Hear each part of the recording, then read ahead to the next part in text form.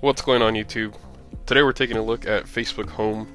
This is currently announced as only being available on certain phones, but the crafty guys over at XDA Developer Forums have ported it to work on any Android device. I'm currently using it on my HTC Evo 4G LTE on Sprint, and as you can see, it is running.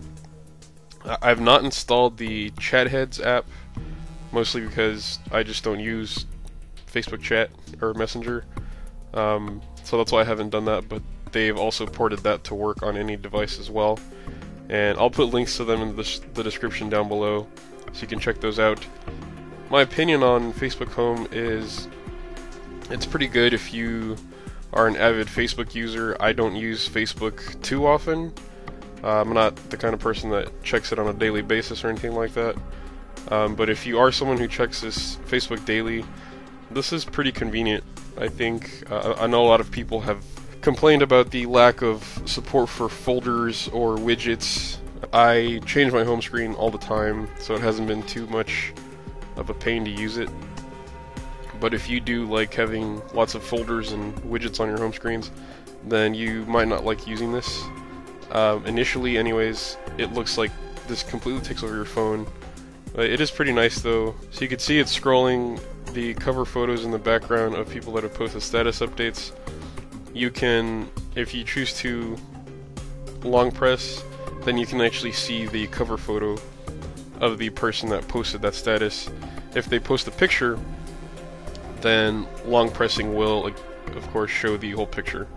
Uh, but if you don't want to, you know, interact with it, you just want to stare at your screen, it'll scroll by, and once it gets to the end of the picture, it'll go to the next status, and then it'll scroll the picture slowly in the background like that.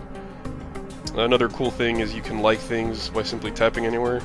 I'll do a double tap here. You see you get the thumbs up with a little water drop sound and then you saw my my profile came up there.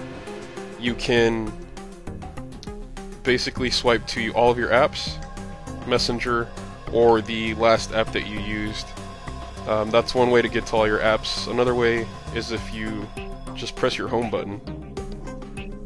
It takes you to this section, which is kind of your app drawer plus two, what I would say are folders. You can basically drag your most used apps onto these folders and just long pressing and you can move stuff around and it rearranges things for you and then you see if you swipe all the way to the left you have your uh, app drawer in its entirety. So these are all your apps. And then of course swiping back to the right takes you back to these two. There is a button called more. But basically if you press that you see I am now presented with my home screen.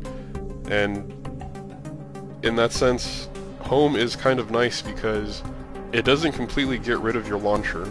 So here I have my widgets. Um, you see I've got my folders here.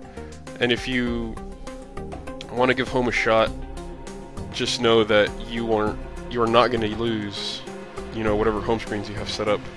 So it's it's pretty cool. It's pretty convenient, I'd say, for people that really use Facebook heavily.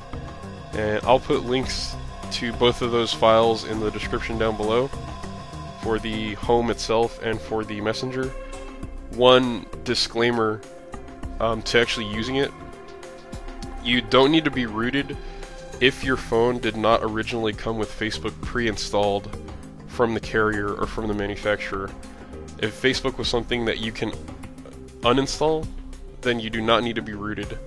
Uh, if Facebook was installed on your phone, you might not be able to uninstall it. If that's the case, then you need to be rooted so that you can uninstall it and then in turn install the Facebook Home version of the app itself. So just a little disclaimer for you.